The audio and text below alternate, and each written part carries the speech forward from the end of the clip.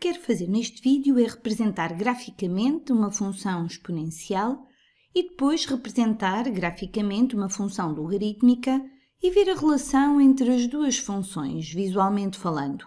Então, as duas funções que vou representar são y igual a 2 elevado a x e y igual ao logaritmo de base 2 de x. Encorajo-vos a fazerem pausa no vídeo, criarem uma tabela para cada uma das funções e tentarem representá-las no mesmo gráfico. Vejam como é que se relacionam entre si e tentem ir mais além, procurando uma explicação, uma razão para o facto de se relacionarem como relacionam.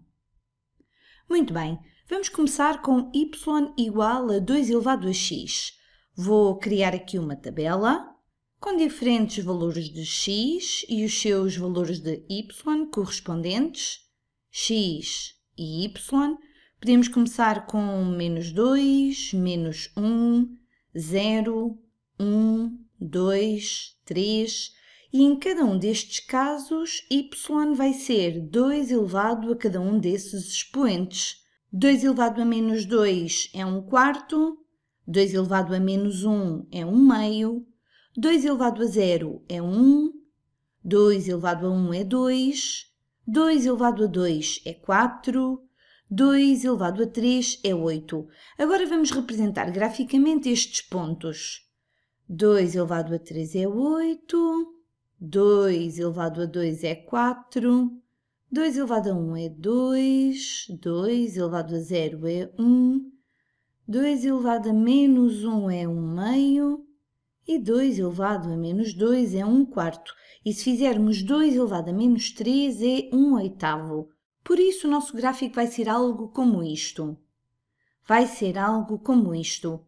Assim, este é o aspecto da função exponencial clássica, digamos assim. Apresenta uma curva com este aspecto. Reparem, à medida que avançamos para a esquerda, para valores de x negativos e cada vez menores, os valores de y aproximam-se cada vez mais de zero, embora, no entanto, nunca lá cheguem. Se tivermos 2 elevado a menos 1 milhão, o resultado é um número positivo muito pequeno, pequeníssimo, muito, muito próximo de zero, mas nunca vai ser zero. Quer dizer que vamos ter uma assíntota horizontal em y igual a zero, ou também podemos dizer que o eixo do x é uma assíntota horizontal. Muito bem. Agora vamos ao gráfico de y igual ao logaritmo de base 2 de x. E antes de representar graficamente esta função, vamos apenas pensar noutra expressão para a representar. O que isto aqui nos pergunta é, para um determinado valor de x, a que expoente y, qual é que é o valor de y a que tem de elevar 2 para obter x? Ou seja, isto é equivalente a dizer que 2 elevado a y é igual a x. Por isso, se repararem, o que aqui fizemos entre estas duas expressões, o que estamos a fazer essencialmente é apenas trocar o x pelo y. Aqui temos 2 elevado a x é igual a y. Aqui, 2 elevado a y é igual a x. Realmente apenas se trocou o x e o y. Por isso o que vamos ver é que essencialmente podemos trocar estas duas colunas, de x e de y. Então vamos fazer isso mesmo. Vamos escrever 1 quarto, 1 meio, 1, 2, 4 e 8. Os valores que tínhamos para y. E agora o que aqui estamos a perguntar é se x for 1 quarto, a que expoente é que temos de elevar 2 para obter 1 quarto? Temos de elevar 2 a menos 2. Depois, 2 elevado a menos 1 é 1 meio. 2 elevado a 0 é igual a 1. 2 elevado a 1 é igual a 2. 2 elevado a 2 é igual a 4. 2 elevado a 3 é igual a 8. Reparem, tudo o que fizemos foi, essencialmente, trocarmos estas duas colunas. Então agora vamos representar graficamente estes pontos. Quando x é igual a 1 quarto, y é igual a menos 2. Quando x é 1 meio, y é igual a menos 1. Quando x é 1, y é 0. Quando x é 2, y é 1. Quando x é 4, y é 2. E quando x é 8, y é 3. Vai ficar assim. vai ficar assim. E acho que já estão a ver que existe aqui um certo padrão. Estes dois gráficos são uma reflexão um do outro. E qual é que é o eixo de reflexão para se obterem a partir um do outro? Bem, o eixo de reflexão é a reta y igual a x. Se a cada ponto de um dos gráficos trocarmos a ordenada pela abscissa e vice-versa, obtemos o outro gráfico. Essencialmente é o que estamos a fazer. Reparem, os gráficos são simétricos em relação à reta y igual a x. E isto acontece por estas serem funções inversas uma da outra, porque já vimos que no fundo trocamos os valores de x pelos valores de y. E assim, nesta função exponencial, à medida que os valores de x tendem para menos infinito, os valores de y aproximam-se cada vez mais de zero. Aqui, na função logarítmica, que lhe é inversa, isso vai acontecer à outra coordenada, ou seja, os valores de y estão a tender para menos infinito à medida que x se aproxima de zero. Ou dito de outra forma, à medida que x se aproxima de zero, y é cada vez menor. Portanto, com este vídeo eu gostava que percebessem a relação que existe entre as funções exponenciais e as funções logarítmicas.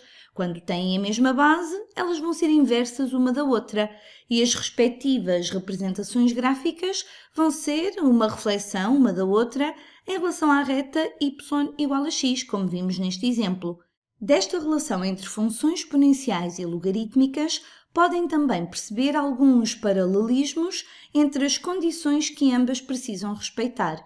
Por exemplo, no estudo da função exponencial, nós vimos que se tivéssemos y igual a b elevado a x, esta base, b, que também pode ser chamada de razão, teria de ser um número real positivo, exceto 1.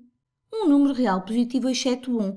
Também na função logarítmica, que lhe é inversa, a função y igual ao logaritmo de base b de x, a base b tem de respeitar exatamente a mesma condição. B tem de ser um número positivo diferente de 1. Também nos valores que vamos encontrar nos domínios e contradomínios de funções exponenciais e logarítmicas inversas, podemos encontrar esta relação de troca entre os x e os y. Por exemplo, o domínio desta função exponencial que aqui temos, a que é que vai corresponder? Vamos chamar-lhe f. O domínio de f vai ser dado por todos os números reais. E o seu contradomínio, qual será? Vimos que quando x tendia para menos infinito, a função se aproximava de zero, por valores maiores do que zero, sem nunca lá chegar. E podem também ver que a função é sempre crescente. Assim, o seu contradomínio vai incluir todos os números reais positivos. E nesta função logarítmica, o que é que temos? Vamos chamar-lhe g. Vimos que à medida que x se aproximava de zero, o y era cada vez menor, mas não temos nenhum valor de x que não seja positivo. Isto significa que o domínio de g vai corresponder aos números reais positivos. Já os valores de y dissemos que tendem para menos infinito quando x se aproxima de zero, e quando x aumenta, Ainda que esta função vá crescendo cada vez mais devagar, ela vai tender para mais infinito e assim o contradomínio vai ser R. Então, o que temos? O conjunto que corresponde ao domínio desta função exponencial é igual ao contradomínio da função logarítmica que lhe é inversa. E o contradomínio é igual ao domínio dessa função logarítmica, o que faz sentido, uma vez que afirmamos que estas funções eram inversas e que os valores de x e y iam trocar entre si.